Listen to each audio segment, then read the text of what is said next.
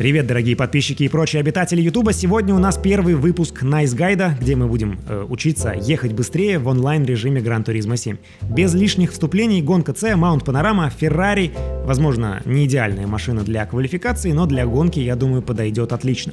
Все помощники убираем, ABS оставляем. Ставим среднюю гоночную резину и поехали. Перед первым поворотом крутим четвертую передачу до предела и тормозим ровно посередине между табличками 100 и 50. Тормозим в пол на прямом руле, переключаемся на третью и после того, как пролетели табличку 50, начинаем поворачивать и одновременно втыкаем вторую передачу, продолжая тормозить. Отпускаем тормоз немного до апекса и уже на третьей передаче, практически прямо на апексе, сразу газ в пол. На выходе не боимся залезать на поребрик, используем всю доступную площадь трека. Конце прямой остаемся на пятой передаче. К точке торможения скорость должна быть 222-23 км в час. Тормозим перед газоном слева и когда пролетаем табличку 50, плавно начинаем поворачивать, плавно отпускаем тормоз, облизываем правый поребрик на третьей передаче, газовать не торопимся, ждем пока вот этот столб будет почти по центру экрана и тогда газ в пол. Машина очень стабильная, резко бить по газу, я думаю, можно не бояться. Главное не делать этого прямо на поребриках. Дальше смещаемся правее, вплотную к стене. Вот этот забор мой ориентир для начала поворота. К этому моменту я уже немного поворачиваю, и сильно рулем тут крутить не нужно. На полном газу пролетаем левую стену, выпрямляем руль, тормозим и снова начинаем поворачивать. Правыми колесами лучше бы даже залезть за белую линию справа, сбрасываем передачи вплоть до первой, а, чтобы машину завернуть, плавно отпускаем тормоз и на второй передаче резко встаем на газ. Наверное, примерно в момент, когда последний билборд оказывается по центру экрана. Очень тяжелая секция, я как будто каждый раз ее проезжаю по-разному, и тут, конечно, надо много вкатываться. Едем дальше, прижимаемся к левой стене, плавно, не сбрасывая газ, начинаем поворачивать от этого дерева или даже чуточку раньше. Сложно точно сказать, я тут, собственно, и сам немного ошибся. Поднял ногу с газа на долю секунды, но вообще здесь везде тапка в пол. Дальше правыми колесами обязательно заезжаем за белую линию и сразу начинаем поворачивать. На левом поребрике я газ отпускаю, но не полностью, и после поребрика снова газ в пол. Вплотную к правой стене я начинаю поворачивать до этого поребрика, и когда на нем машина подпрыгнет, очень осторожно дозирую газ, чтобы не удариться об левую стену и не вылететь в траву. Потом смещаемся налево и примерно там, где стена отходит от белой линии, начинаем аккуратно поворачивать. После рекламы Audi сверху отпускаем газ и очень плавно тормозим и не торопимся сбрасывать передачи. Выпрямляем машину через поребрик, он вроде бы довольно безопасный.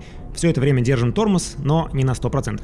Здесь все должно быть максимально плавно и аккуратно. Тормоз опускаем только когда снова въезжаем в узкую часть трека, и тут я уверен, я кучу времени потерял, но тем не менее на второй передаче чуть-чуть подгазовываем, после чего даем микротормоз, пропускаем белую линию ровно между колес и быстро встаем на газ. Я это делаю на второй передаче, но есть большая вероятность, что надо на третий. Э, перед финальной частью кишки заблаговременно отпускаем газ, чтобы остаться поближе к правой стене и успеть выпрямить машину. Торможу я от начала синей стены справа, очень плавно, сначала на 50% и только потом на 100, и обязательно на прямом руле.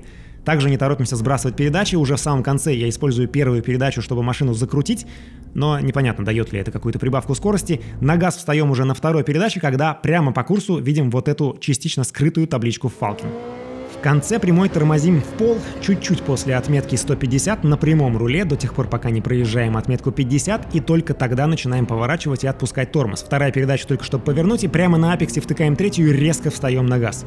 Используем всю площадь трека, и, наконец, остался последний поворот, там мы снова будем тормозить посередине между табличками 100 и 50, может быть чуть-чуть раньше, на прямом руле и только когда проезжаем вот этот столб справа, начинаем поворачивать и отпускать тормоз. В районе апекса смело ускоряемся на второй передаче. Фу, все. А, круг, конечно, далеко не идеальный, но я надеюсь, этот гайд окажется для вас полезным. 2 минуты 11 секунд на вечер понедельника — это 36 место в мире, что, в принципе, не стыдно. Давайте еще с другой камеры посмотрим, как это все выглядит без пауз и замедлений. И, наверное, дам еще пару рекомендаций э, уже не к квалификации, а к гонке. Во-первых, гонку надо ехать на жесткой резине. Квалификацию мы гоняем на средней, но в гонке жесткая резина обязательно. Поэтому, если вы захотите ехать на средней, то вам придется заезжать в боксы, терять кучу времени, и я гарантирую вам, что это проигрышная стратегия, э, если у вас э, вдруг были какие-то сомнения. Поэтому э, на жесткой резине все точки торможения смещайте чуть-чуть пораньше, и в целом будьте чуть аккуратнее, потому что в гонке у вас еще и полный бак бензина, машина тяжелая, будьте чуточку осторожнее. И последнее замечание. Следите за тем, сколько топлива сжигаете. Топливными картами жонглировать не нужно, просто переключайте передачи немножко до того, как индикатор по центру начнет мигать.